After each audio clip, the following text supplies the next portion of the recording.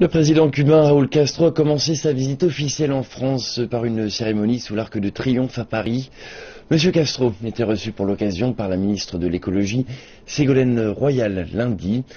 La cérémonie marquait le début officiel de sa visite historique, même si le dirigeant cubain est arrivé en France samedi.